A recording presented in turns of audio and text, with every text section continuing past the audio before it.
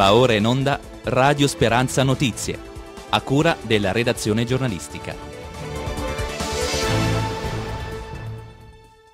Buona giornata a tutti voi da Massimiliano Spiriticchio in studio e da tutti noi di Radio Speranza in Blu, la radio della Chiesa diocesana di Pescara Penne. Dopo che ieri la cabina di regia nazionale ha certificato l'attribuzione all'Abruzzo della zona rossa, un'ordinanza del Ministro della Salute conferma la nostra regione appunto in zona rossa dovrebbe entrare in vigore alle 24 di oggi. Con l'entrata in vigore di questa ordinanza scatteranno tutte le misure previste dal decreto ristori per le attività colpite dalle restrizioni e per le famiglie che hanno i figli in didattica a distanza. Lo ha comunicato il presidente della Regione Abruzzo, Marco Marsilio. Sono in tutto 22.547 eh, casi positivi al Covid-19 registrati in Abruzzo dall'inizio dell'emergenza. Rispetto all'altro ieri si registrano 705 nuovi casi di età compresa tra i 5 mesi e i 97 anni. I positivi con età inferiore ai 19 anni sono 102, di cui 43 in provincia di L'Aquila, 7 in quella di Pescara, 20 in provincia di Chieti e 15 in provincia di Teramo e il bilancio dei pazienti deceduti registra 18 nuovi casi e sale a 739 di età compresa i nuovi casi tra i 63 e i 95 anni, 5 in provincia di L'Aquila, 4 in quella di Pescara, 5 in provincia di Chieti e 4 in provincia di Teramo. 8 casi sono riferiti a decessi avvenuti nelle scorse settimane e comunicati solo ieri dalle ASL. Nel numero dei casi positivi sono compresi anche i 6.430 pazienti dimessi o guariti, 171 in più rispetto a due giorni fa. Gli attualmente positivi in Abruzzo sono eh, 15.378, 516 in più rispetto all'altro ieri. Tra ieri e l'altro ieri sono stati eseguiti 4.648 tamponi, 661 pazienti, tre in più rispetto a due giorni fa, sono ricoverati in ospedale in terapia non intensiva, 75, uno in più rispetto all'altro ieri, sono invece in terapia intensiva, mentre gli altri 14.642, 512 in più rispetto a due giorni fa, sono in isolamento domiciliare con sorveglianza attiva da parte delle ASL.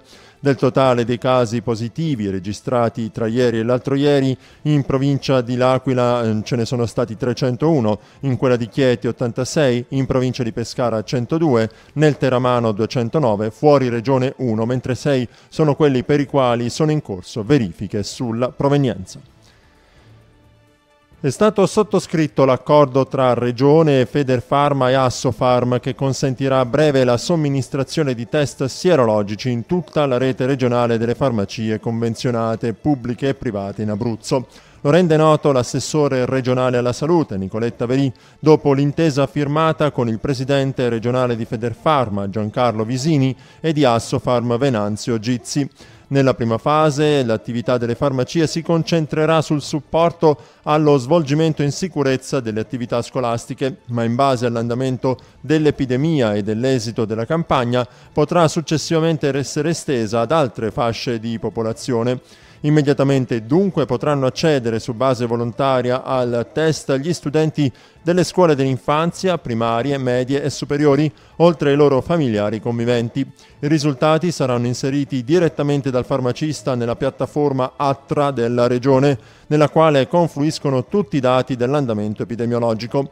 Per ogni test eseguito, il sistema sanitario regionale riconoscerà alle farmacie un costo pari a 15,58 euro, la stessa cifra che verrà richiesta a tutti coloro che non rientrano nelle categorie per le quali il test è gratuito che volessero sottoporsi all'esame. Per la prima volta in questi ultimi decenni si è mostrata particolare attenzione al presidio ospedaliero San Camillo di Atessa da parte della di Chieti Lanciano Vasto e del suo direttore e della Regione Abruzzo che hanno fortemente voluto investire su questo presidio per l'emergenza Covid. È proprio grazie alla determinazione della Regione Abruzzo che anche sui tavoli ministeriali si è sostenuta con forza la necessità di ricomprendere il presidio ospedaliero nella rete Covid. Questo impegno ha permesso di destinare al San Camillo fondi per 2 milioni di euro nella prima fase della pandemia per raggiungere un obiettivo dalle tante ricadute, trovare risposta a una richiesta crescente di posti letto, dando un ruolo a un ospedale abbandonato a se stesso e disporre della liquidità necessaria per adeguare in fretta il presidio, chiedendo aiuto al mondo delle imprese e alla società civile.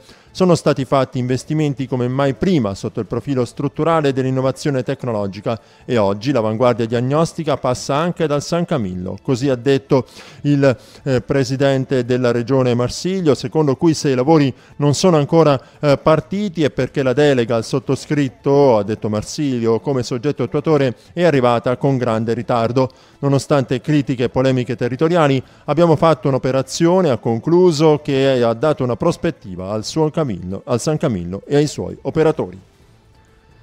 Per i sindacati dei pensionati SPCGL, FNP CISL e WILP WIL, la giunta regionale deve con urgenza spiegare il ritardo e dire quando saranno disponibili, dove e come trovare i vaccini contro l'influenza.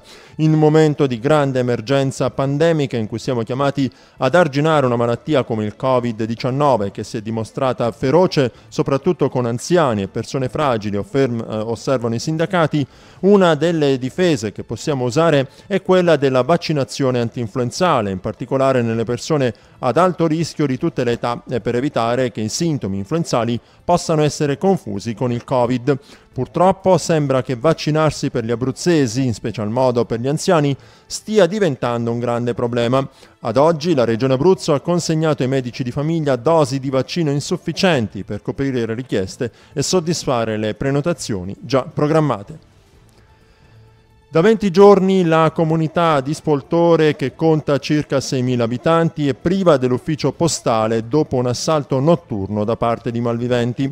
Nemmeno l'ufficio mobile, annunciato da Poste Italiane nei giorni scorsi, è mai entrato in funzione Immaginabile la conseguenza che la popolazione soffre con gravissimi disagi per non poter ritirare denaro, pagare bollette, fare spedizioni o avvalersi dei servizi bancari, dice il presidente del eh, Consiglio Comunale di Spoltore. A pagarne le conseguenze eh, sono eh, più di tutti gli anziani e coloro che non hanno i mezzi per potersi recare nelle filiali più vicine di Villa Raspa e eh, Santa Teresa, senza considerare che questa incresciosa situazione situazione, dice il Presidente del Consiglio Comunale di Spoltore, costringe a numerosissimi spostamenti che potrebbero essere evitati e andrebbero ridotti al minimo nel rispetto delle restrizioni anti-Covid-19. Scadranno alle 16 di martedì prossimo i termini per presentare le domande di accesso alle risorse a fondo perduto previste dal governo. Le scadenze riguardano nello specifico le associazioni sportive dilettantistiche e le società sportive dilettantistiche che non abbiano però già ottenuto contributi previsti da, da un precedente avviso. L'intervento vuole assicurare la prosecuzione degli interventi a sostegno delle attività sportive di base. Il Dipartimento per lo Sport della Presidenza del Consiglio dei Ministri metterà a disposizione delle associazioni e delle società sportive dilettantistiche ehm, eh, contributi forfettari a fondo perduto da attribuire secondo criteri e modalità indicati nell'avviso che è stato pubblicato sul sito www.sport.governo.it. Oggi è sabato 21 novembre, la Chiesa celebra la memoria della presentazione della Beata Vergine Maria, che è anche la giornata delle claustrali, alle quali vanno dunque eh, gli auguri di tutti noi di Radio Speranza. Siamo alle previsioni del tempo. Oggi su Pescara e provincia si prevedono sulla costa cielo coperto fino a tutto il pomeriggio, nuvoloso nelle prime ore della sera e coperto in tarda serata con temperature da 5 a 11 gradi e venti moderati e nelle zone interne pioggia fino a tutto il pomeriggio e cielo coperto in serata con temperature da 5 a 7 gradi e venti deboli. Domani si prevedono sulla costa cielo nuvoloso fino a metà pomeriggio, molto nuvoloso nel resto del pomeriggio e nelle prime ore della sera e coperto in tarda serata con temperature da 5 a 11 gradi e venti deboli e nelle zone interne cielo nuvoloso fino a metà mattino, molto nuvoloso dalla tarda mattinata a metà pomeriggio, sereno nel resto del pomeriggio e nuvoloso in serata con temperature temperature da 5 a 9 gradi e venti deboli. Il mare è previsto da mosso a molto mosso oggi e mosso domani. Ed è tutto per eh, questa edizione del nostro eh, Radio Giornale. Da Massimiliano Spiriticchio in studio, da tutti noi di Radio Speranza in Blu, la radio della Chiesa Diocesana di Pescarapenne, grazie e a risentirci.